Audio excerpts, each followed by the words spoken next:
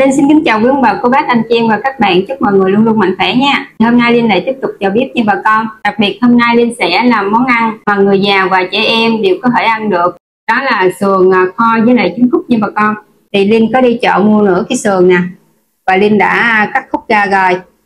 Linh ngâm vào trong nước muối khoảng 15 tới 20 phút ha. Để cho cái chất dơ nó ra ha. Đây bà con có thấy nước của nó đỏ đỏ không? Đó là máu của sườn nó ra đó. Thì nó là nguyên nhân làm cho sườn nó bị hôi á thì mình ngâm như vậy thì à, sườn nó sẽ phát hôi rồi sau đó mình sẽ đi à, xả lại ha. Rồi Linh cũng có mua thêm một dĩa trứng cút đây. Sườn thì à, Linh thấy mọi người hay hầm hoặc là xào chua ngọt á, mình làm hoài thì bé cũng ngán nha. Bây giờ mình sẽ đổi sang cái cách chế biến khác nha. Thì Linh sẽ kho sườn với lại trứng cút như bà con, theo kiểu của người Hoa. Thì sườn nó sẽ mềm, người già sẽ dễ ăn cũng như là bé cũng sẽ rất thích ha.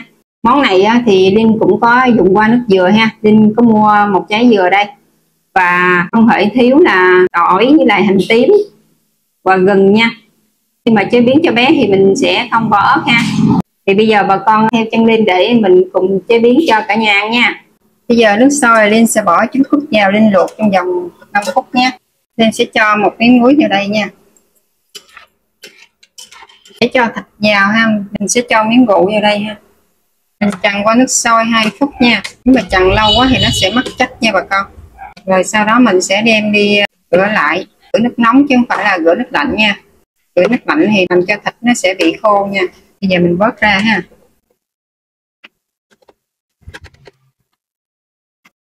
Đây lên có một quế cây ha. Với lại uh, hoa hồi. Giờ lên sẽ khui ra nè. Mình cho khoảng hai qua nhìn qua đẹp không? Mình sẽ cho một cây quế với lại vài miếng gừng. À, đây là sắc ra rồi đây. Giờ lên sẽ cho dầu vào đây nha bà con. Lên sẽ cho đường phèn ha. Thắng đường phèn ha làm nước màng cho nó đẹp nha. Bây giờ nó có màu rồi đó. Mình sẽ cho thịt vào nha bà con.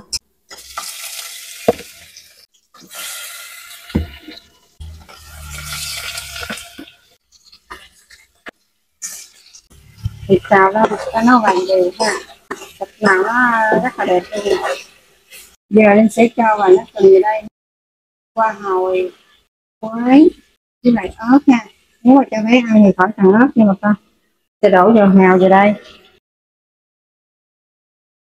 Rồi mình cho nước dừa vào ha.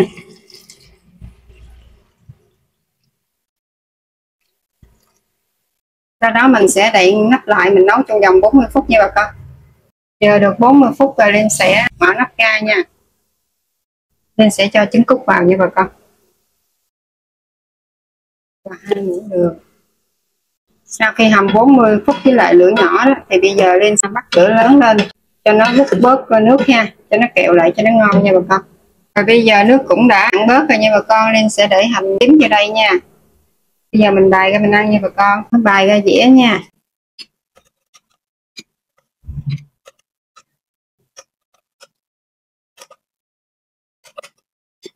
Linh sẽ cho một chút muối ha. Đây là một chút bột ngọt. Nhà còn rau gì thì bột rau đó ăn chung hay bà con. Để bột ngọt với muối thì rau nó sẽ tươi ha. Cùng ngắm là hành quả với lên nha. Bà con dùng bữa nha. Bây giờ Linh à, sẽ dùng thử thịt coi nó có mềm chưa? Hầm cũng à, 40 phút rồi, với lửa nhỏ nè. Chắc nó mềm rượu luôn rồi mềm nha bà con. Thơm ha. Đồ ăn á lên không có thích thơm nhưng mà cái mùi này rất là ngon bà con của hoa hồi nè của quế nha. Thấm sâu vô trong cái um, miếng thịt luôn. Ngọt ngọt mặn mặn. Thơm rất là thơm luôn á. Để lên um, à, múc miếng nước ra ha. Chấm cao. Thì gao lên luộc đây. Tươi xanh ngon chấm như đây nha bà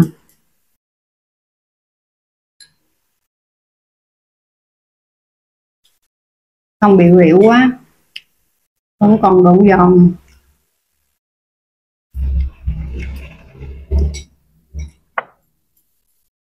Luộc rau bà con đừng luộc rượu quá ha, nó sẽ bị mất chắc ha. Giờ đi ăn cái trứng nha. Trứng này mấy bé hiện rất là thích nha bà con. Tiếp tục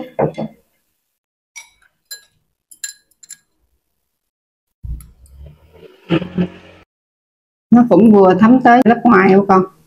Lớp trong vẫn còn hương vị nguyên thủy của um, trứng ha rất là thơm trứng luôn. Đinh để ớt nhưng mà nó không có vị cay nha bà con. Không cay ha bé ăn vẫn được nha. Còn thường thì sườn người ta sợ là nó bị cứng á nhưng mà khi mà mình hầm như vậy đó thì nó sẽ mềm nha kho kiểu này thì nó sẽ lạ hơn. Hương vị nó lạ hơn những cái kiểu mà thường ngày mình ăn nó sẽ làm cho các bé thích thú hơn. Mấy ngày nay trên à, mạng à, rầm rộ à, việc phun chân mài phun thủy á bà con. Bà con có nghe không? À, một cơ sở lớn nổi tiếng ở Sài Gòn ha bị bóc phốt. À, phun không đều. Nhân viên thì hơi kéo khách hàng. Linh cũng công nhận điều đó nha bà con.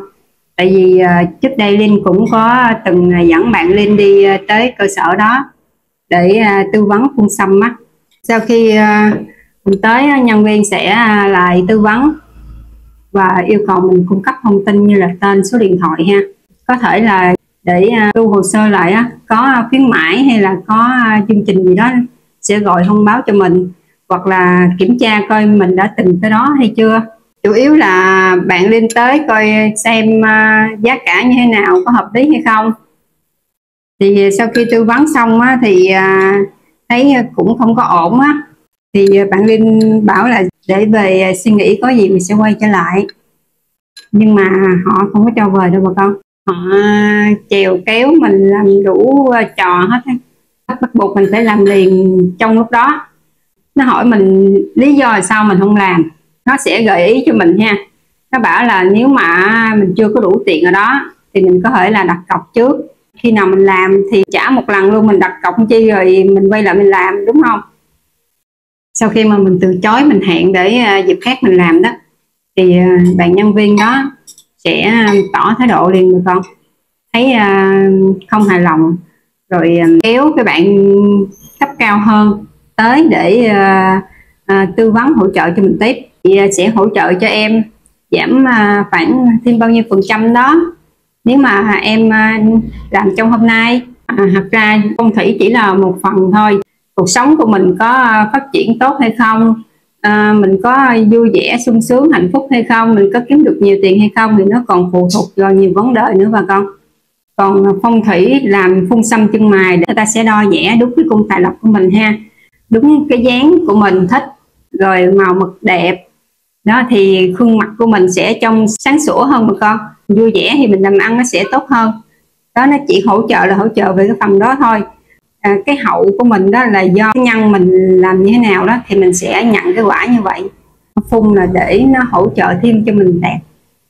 Về à, vấn đề đi làm đẹp đi thẩm mỹ thì mọi người nên tìm hiểu cân nhắc xem xét coi à, nơi nào uy tín mình phải à, xem ở trên mạng cũng như là qua những người à, đã từng đi làm. Ví dụ à, bạn muốn sửa mũi mà bạn thấy cái người đó là mắt đẹp đi, thì chưa chắc gì ở chỗ đó nó sẽ sửa mũi đẹp nha mọi con. Đó, mình phải nghiên cứu kỹ ha. Ví dụ như cơ sở bệnh viện lớn chưa chắc gì có uy tín nha. Những cái trường hợp đó là Linh cũng đã thấy qua rồi. Có nhiều người thì đi sửa lại rất là nhiều lần nhưng mà không cải thiện được. Lúc đó là tiền mất tật mang. Ờ, họ nói là họ bảo hành. Chẳng lẽ bây giờ mình đi làm hoài, mình đâu có thời gian, mình đâu có sức khỏe để mình đi chỉnh sửa ờ, lại. Họ đã chỉnh sửa không được rồi, mình mình quay lại mình chỉnh sửa thì cũng như vậy thôi. Lúc đó mình sẽ đi chỗ khác, lại mất thêm tiền nữa. Linh chỉ ờ, đưa lên những cái trường hợp mà Linh đã gặp nha, chứ Linh không đánh đồng tất cả các cơ sở thẩm mỹ ha, hay là các spa ha. Cũng có những người rất là có tâm nha bà con nếu mà bà con đi uh, tư vấn về uh, thẩm mỹ đó thì bà con nên gặp trực tiếp bác sĩ ha.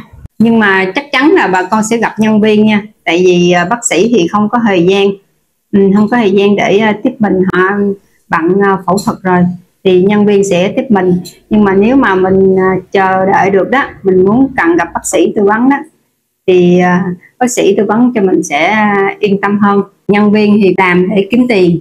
Nên uh, cho dù à, làm đẹp hay không đẹp thì họ cũng sẽ tư vấn cho mình để mình làm. Nha bà con, có những bác sĩ có tâm á, ví dụ mũi của bạn đi, họ biết là không cải thiện được bao nhiêu, nhưng mà mức độ nguy hiểm của nó sẽ cao á, thì họ sẽ từ chối, họ cũng làm ha. Họ làm vẫn được nha, chứ không phải là không được. Nhưng mà đó là những bác sĩ có tâm nha bà con. Những người dân ở à, miền Tây, ở vùng quê đó, không có tìm hiểu ở trên mạng nhiều, chỉ nghe qua lời giới thiệu của người này người kia rồi đi lên làm thôi. Nên nhiều khi um, thẩm mỹ uh, sẽ bị lỗi rất là nhiều và con. Có người thì làm cả chục lần luôn á. Hôm nay linh uh, làm sinh tố dừa nha con. Dừa linh sẽ um, xây với lại miếng tắc. Gọi là dừa tắc á sinh tố dừa tắc để uống thử coi như thế nào nha. Cũng lạ thơm. Thơm mùi tắc. Béo béo mùi dừa với mùi sữa. Có những cái cơ sở ờ, phun xăm á, người ta cũng đảm bảo là bạn tới đó rồi người ta sẽ vẽ cho tới khi nào mà bạn hài lòng thì người ta mới làm. Linh, ví dụ như bây giờ vẽ mà mình không hài lòng rồi, làm sao mình đâu có lấy tiền lại được? Tại vì bây giờ mình đã đưa tiền trước rồi, người ta mới vẽ chân mày cho mình nha. Có trường hợp đó luôn nha bà con, là vẽ hoài mà vẫn không vào form. Tại vì nhân viên làm nha bà con chứ không phải là chủ uh, phun xăm làm. Nhân viên làm đó thì mình đâu có biết là nhân viên đó lâu năm hay là nhân viên nó mới học nghề. Họ vẽ cho mình họ vẽ thì mình không hài lòng mình không hài lòng thì bắt vẽ đi vẽ lại thì họ sẽ quạo họ sẽ cọc. Đó rồi thay hết nhân viên này tới nhân viên khác vẽ thì cuối cùng mình cũng đâm ra mình quạo. Rồi à, cái chuyện làm đẹp nó à, không có được suôn sẻ dù chẳng lẽ bây giờ ờ, bỏ ờ, không làm làm thì không đúng ý, nó không đẹp, thì phải đi đi đi sửa tiếp. Người ta nói là người bán thì sẽ không bao giờ lỗ, nhưng mà còn chỉ có người mua mới lỗ thôi. Ai đã từng trải qua những cái ờ, vấn đề mà Linh đã nói rồi đó thì mới biết. Nhưng mà làm thì phải có tâm mà con, nó mới lâu dài được. Linh biết là hôm nay mà Linh nói ra những cái góc gốc khuất đó thì à, sẽ có những người à, ở trong à, trong ngành những bạn nhân viên họ sẽ không thích. Nhưng mà Linh muốn nói cái trải nghiệm của Linh và bạn của Linh cũng như là những cái trường hợp mà Linh đã nghe qua Linh đã thấy qua cho bà con cảnh giác bà con khi mà bà con đi làm đẹp đó, thì bà con phải cân nhắc phải xem xét kỹ lưỡng rồi phải hỏi người quen rồi phải xem trên mạng coi họ bình luận về cái cơ sở đó như thế nào. Cho dù có một bình luận không tốt đi thì bà con cũng không nên tới đó làm nha. Tại vì à, có nhiều người làm hư làm sai nhưng mà họ không dám lên tiếng bà con. À, có một ít người họ mới dám lên tiếng. Nên nếu mà mình thấy trường hợp là mà có một người lên tiếng á, thì mình cũng không nên tới cơ sở đó mình làm nha. Cái đó là cái kinh nghiệm của Linh ha. Bà con à, thử làm cái món này nha cho người nhà của mình ăn ha cho các bé cũng như là ông bà của mình ăn à, như thế nào nha bà con? Linh thì Linh thấy à, cái mùi vị của nó rất là thơm, rất là ngon. Rồi thịt nó cũng mềm, cũng thấm gia vị nè. Chắc chắn là mấy bé sẽ rất là thích luôn á. Nếu mà à, bà con muốn Linh tâm sự, chia sẻ thêm nhiều cái vấn đề khác đó, thì bà con xem tiếp những cái clip của Linh nha. Và nhớ bấm đăng ký like share cho Linh ha, để Linh có động lực và cơ hội làm video tiếp theo ha. Xin chào và hẹn gặp lại ạ.